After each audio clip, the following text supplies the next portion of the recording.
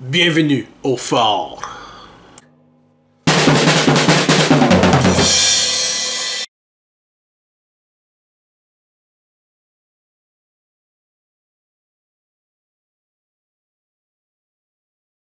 Bonjour à tous, bienvenue au deuxième épisode du Fort Fortin. Nous sommes dans une élection plate. C'est une élection que moi je trouve niaiseuse, mais l'élection c'est pas le sujet total de, du balado aujourd'hui. J'ai quelques sujets qui font rapport à l'élection, mais j'ai un autre culturel. Mais avant tout ça, avant tout, je veux juste vous dire merci d'avoir regardé la dernière épisode euh, du Fort Fortin et aussi celui-ci. Si vous voulez m'aider ou faire euh, une annonce dans le balado, vous pouvez me contacter par courriel.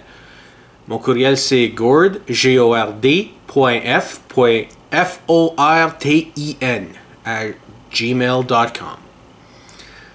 Ben, avec tout ça, on peut embarquer dans le balado avec la première euh, sujet.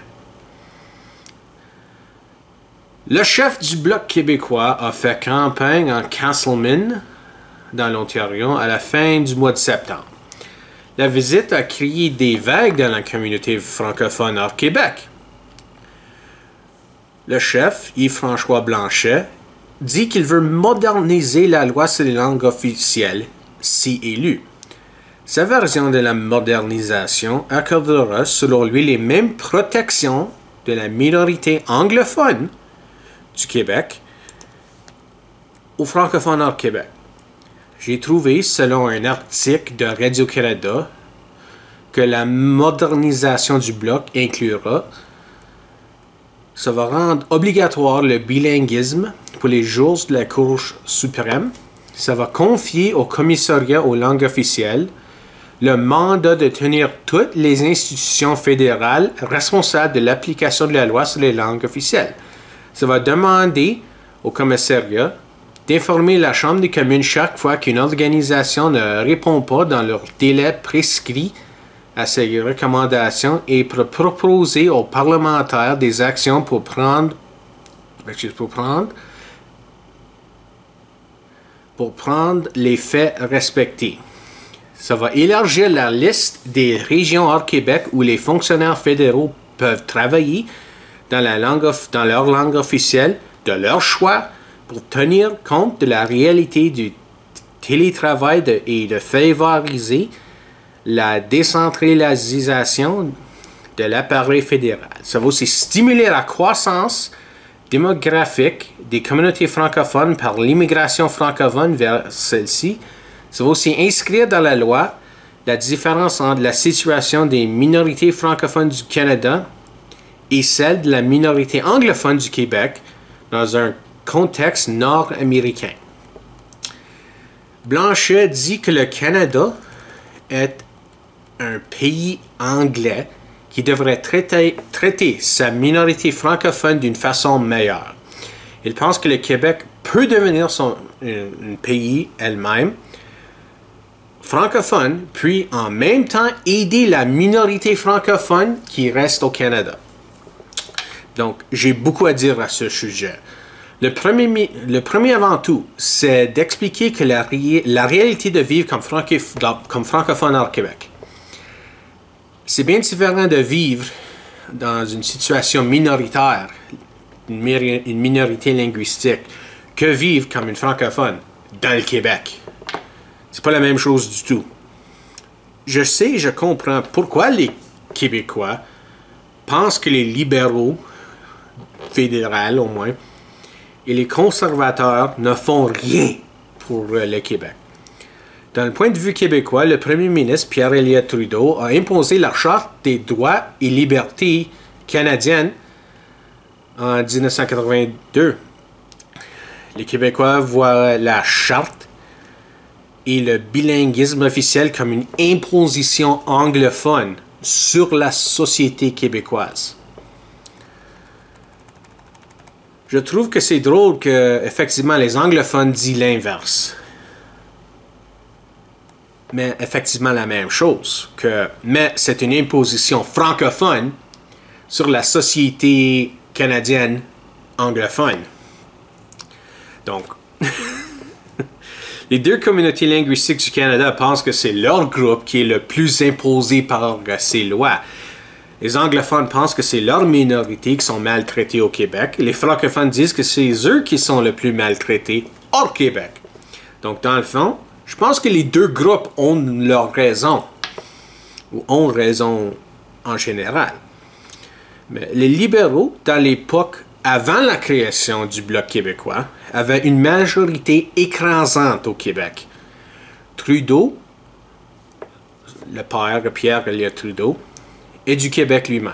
Mais lorsque la charte a été imposée, ou passée par la Chambre des communes, je devrais dire, presque chacun des députés libéraux du Québec sont levés pour s'opposer à la nouvelle constitution qui a été imposée sur la province quand le Québec n'a pas signé la constitution.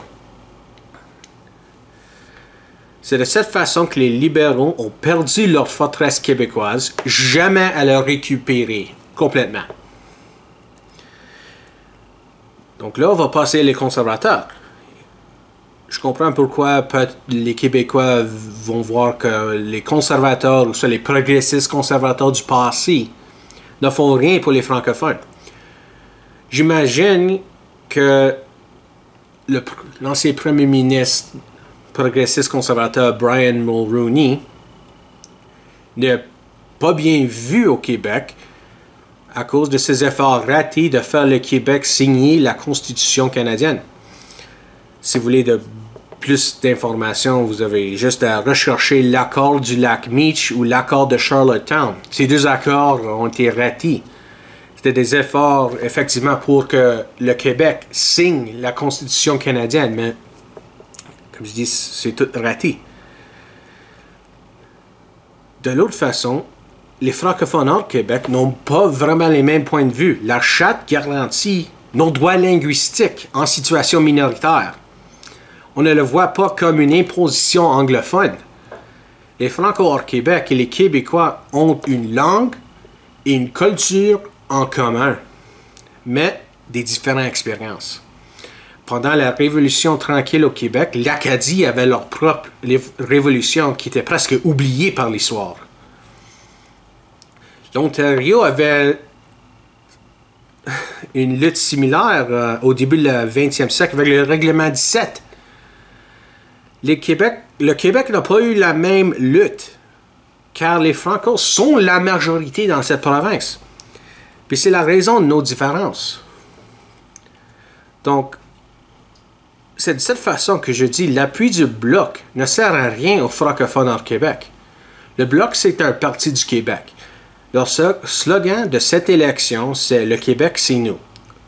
Au point, au point de vue au Québec, le Bloc, c'est un parti du Québec et il ne représente pas.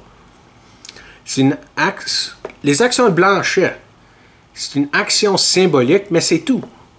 Je ne dis pas que la communauté francophone hors Québec ne l'appréciera pas, la geste. Pas du tout.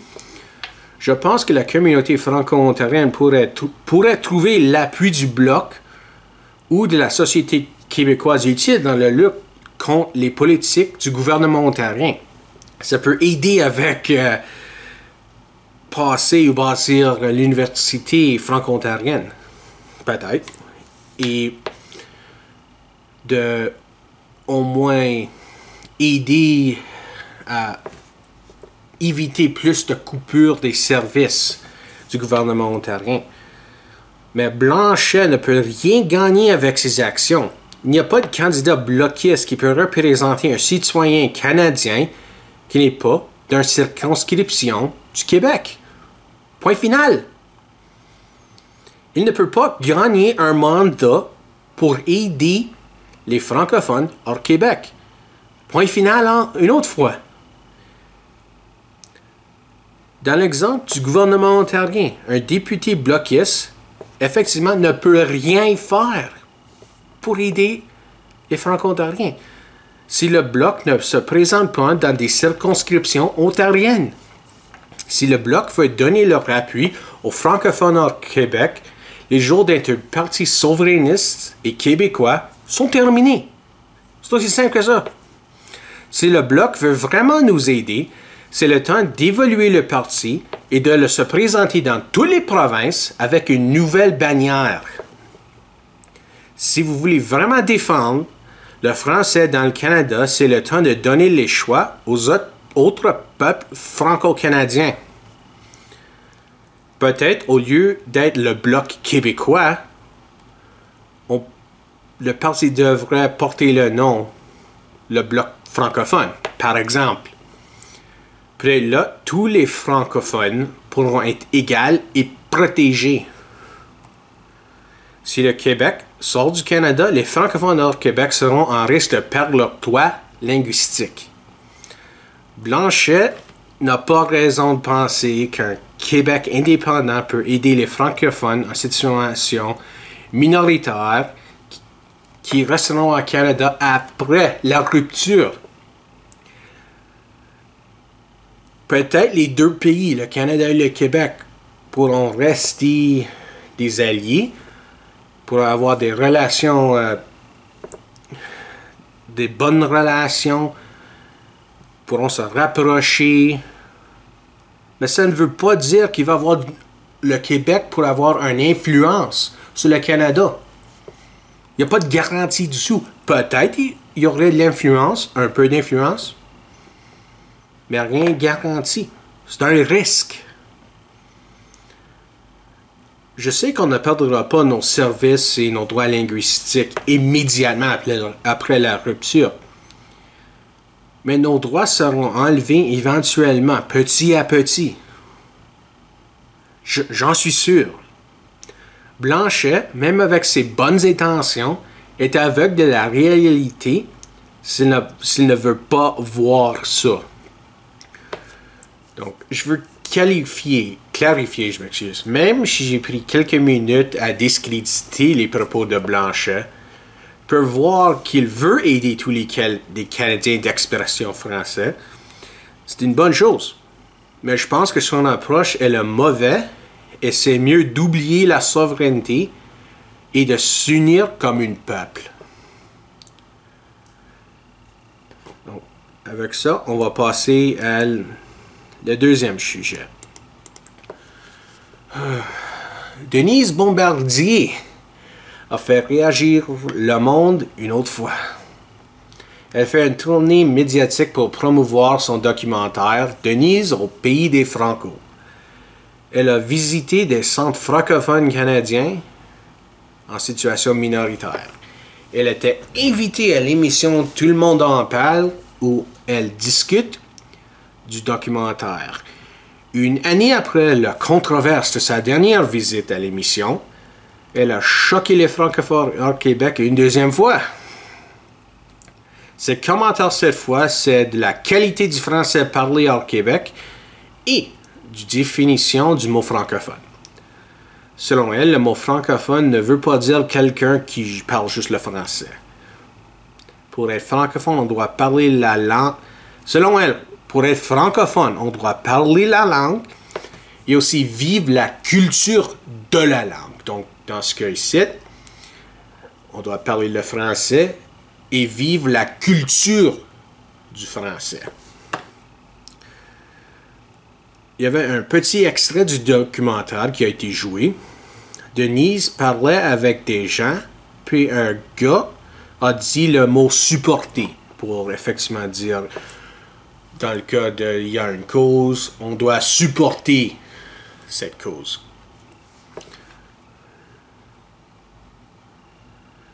Denise a rapidement corrigé le gars en disant qu'il veut dire appui au lieu de supporter.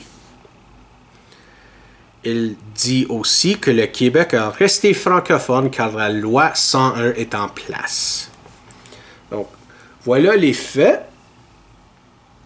Et là, je vais commencer avec mon analyse.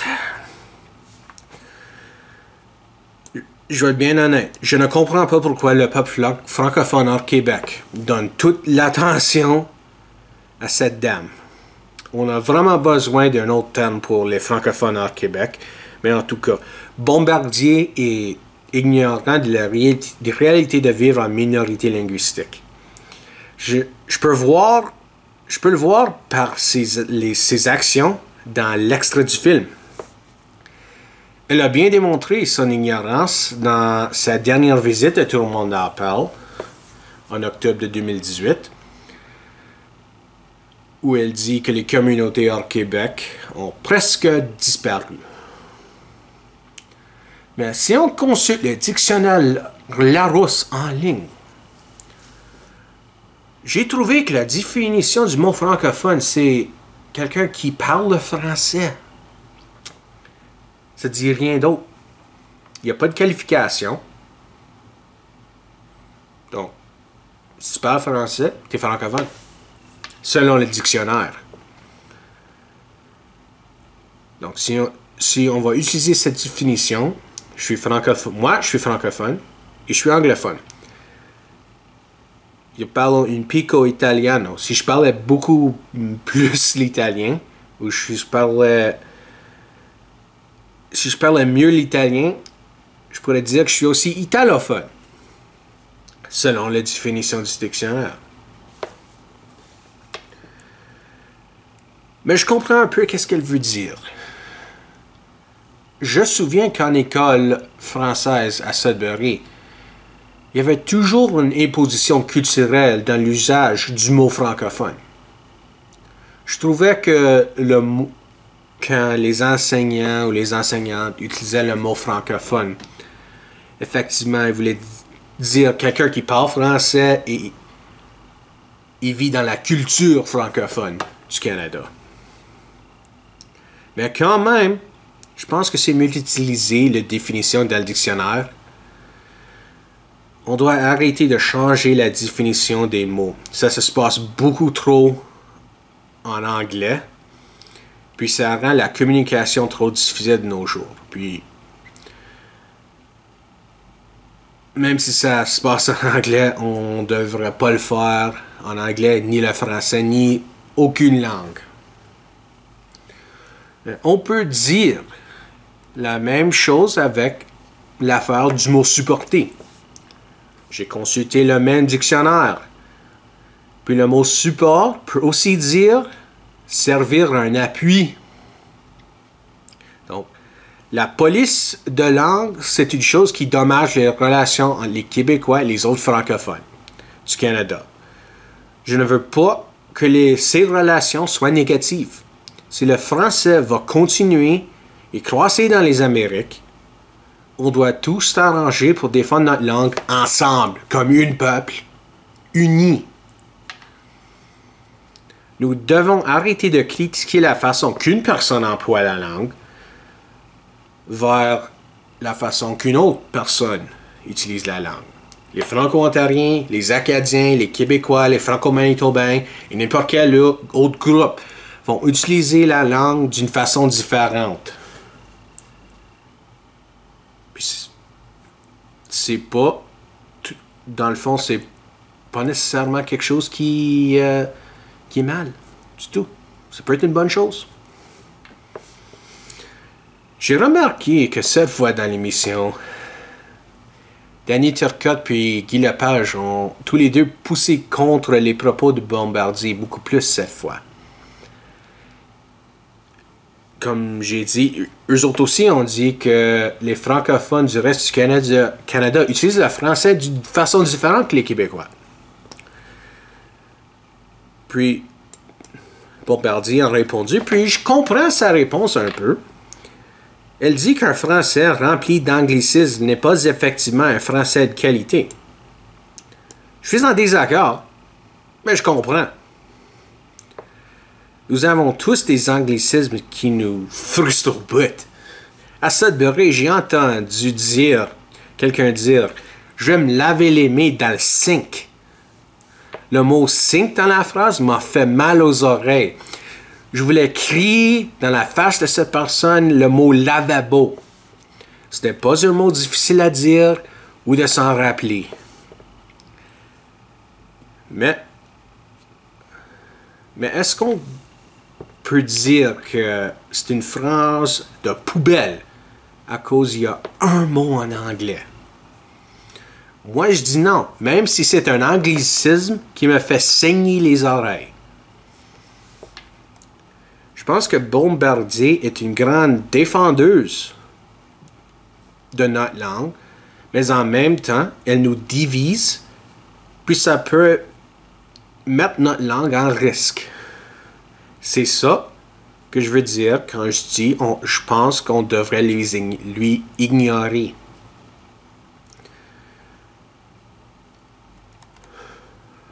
Bien. On se part. Moi là, je suis prêt à passer à la dernière sujet de cet épisode. C'est un mise à jour d'un sujet du premier épisode. Les débats des chefs ont passé, celui en anglais et en français. Et comme vous avez probablement vu, si vous, l'avez, si vous avez euh, vu les débats, le Parti populaire et Maxime Bernier ont été inclus dans, inclus dans les débats. Je veux dire, la commission a fait la meilleure décision possible. Et ils ont clairement dit qu'ils ne supportent pas le censure politique. Ça, c'est des bonnes nouvelles. Mais je pense qu'on doit surveiller la réaction. Puis avec ce que j'ai vu, je peux dire avec confiance que j'ai perdu toute confiance dans les néo-démocrates.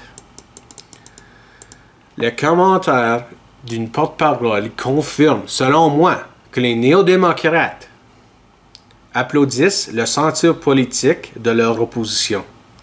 C'est inacceptable. Point final. Je supporterais, je supportais les néo-démocrates quand Jack Layton était chef depuis, cette époque, le parti a détruit, selon moi, tout que Layton a bâti. C'est triste. Les néo-démocrates ont perdu mon support pour effectivement longtemps. Peut-être le reste de ma vie. Je peux pas, moi là, je peux pas supporter le censure politique. Je peux pas appuyer un parti qui supporte le censure